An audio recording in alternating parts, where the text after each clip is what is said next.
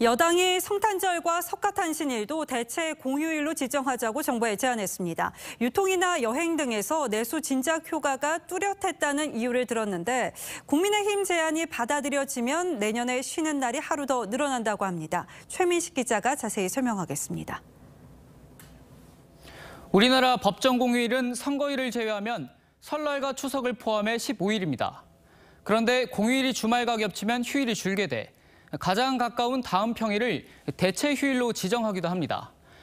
현재 대체 공휴일이 적용되는 공휴일은 3일절과 광복절, 개천절과 한글날, 4대 국경일과 설 연휴, 추석 연휴, 어린이날 등 모두 7가지입니다. 여당은 국민 휴식권 확대와 내수 진작을 위해 크리스마스와 석가 탄신일도 대체 공휴일에 포함시키자고 정부에 제안했습니다.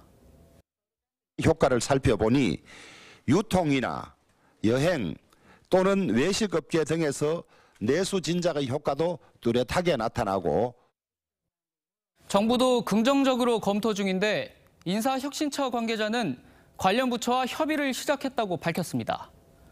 여당 제안이 받아들여질 경우 내년 석가탄신일부터 적용될 것으로 보이는데 내년 석가탄신일은 5월 27일로 토요일이어서 월요일이 대체 공휴일로 지정되고 결과적으로 3일 연휴로 하루 더 쉬게 됩니다.